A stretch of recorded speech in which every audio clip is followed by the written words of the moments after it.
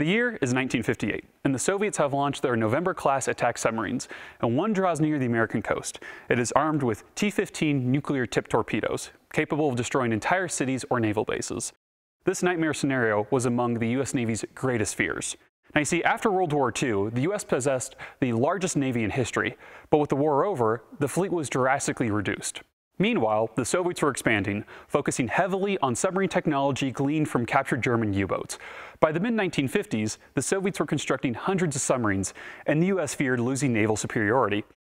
All the U.S. had to counter them was a fleet of aging World War II-era destroyers. Now, designing and building brand new anti-submarine frigates would take too long, and there just wasn't enough space on the old destroyers for a full-size helicopter.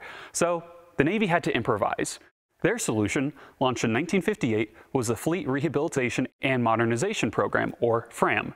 This program upgraded Gearing, Sumner, and some Fletcher-class destroyers with new ANSQS-23 sonar, which was effective to right around 10,000 yards, and RUR-5 ASROC rockets. These had a range of 6 miles.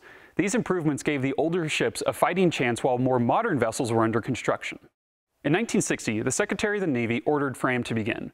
Around the same time, a rotorcraft company called Gyrodyne had been developing the X-Ron, a small single-seat helicopter powered by a 40 horsepower two-cylinder engine. The Marine Corps initially looked into it for reconnaissance, but the engine overheated and it was difficult to fly.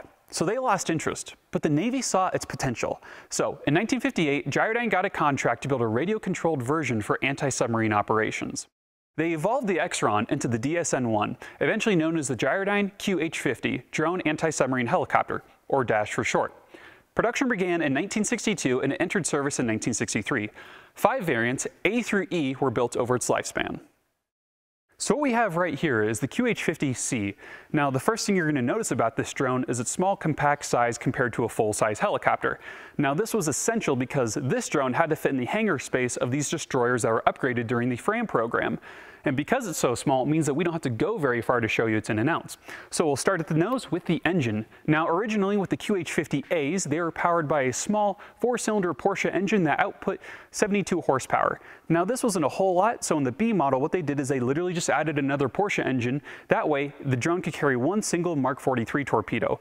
But the Navy wanted a little bit more firepower and they also wanted to minimize the chance of fire on board their ships. So what they did was they replaced the two Porsche engines with one Boeing T-50 gas turbine engine. Now this engine can put out 300 horsepower and it can propel the drone to a max speed of 90 miles an hour and have a cruising speed of 55 miles an hour and a service ceiling of 16,000 feet.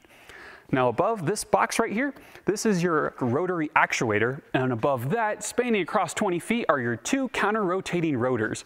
Like I said, they're a little bit smaller than standard helicopter rotors because it has to fit inside of the hangar. And sitting below and behind the rotors is the fuel tank. Now this fuel tank would contain 34 gallons of jet fuel.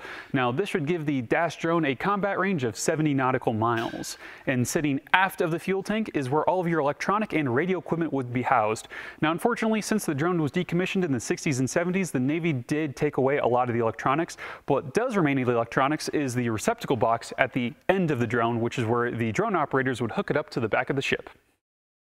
Out of the 755 built, 411 were lost between 1963 and 1970, and over 80% of those losses were due to electronic failures. Now, when it was working properly, the drone could be operated from two places on board the ship. Near the hangar by a deck controller and a technician, and from the Combat Information Center, or the CIC. When a submarine was detected on sonar, the deck team prepped the drone for flight. After liftoff, they set the airspeed and heading, then transferred control to the CIC, where the operator guided the drone to its target via the sonar ping from the submarine's location. They then dropped its weapon and initiated its return flight. Once the drone was back in visual range, the deck crew took over once again for landing.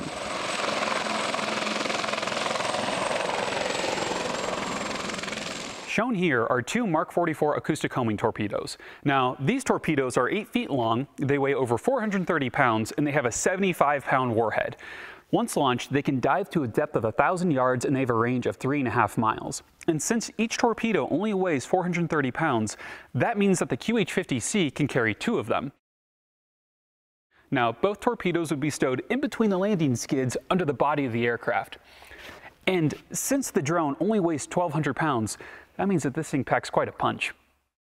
During the Vietnam War, some QH-50s were stripped of their torpedoes and were fitted with live feed cameras for naval gunfire spotting. Now these were nicknamed Snoopies. A few test QH-50Ds were tried with miniguns or rocket pods for jungle warfare, but those projects never advanced. Vietnam shifted U.S. priorities from fighting a Soviet submarine threat to combating guerrillas in Southeast Asia. Helicopters became indispensable, and a large pool of trained pilots were now available.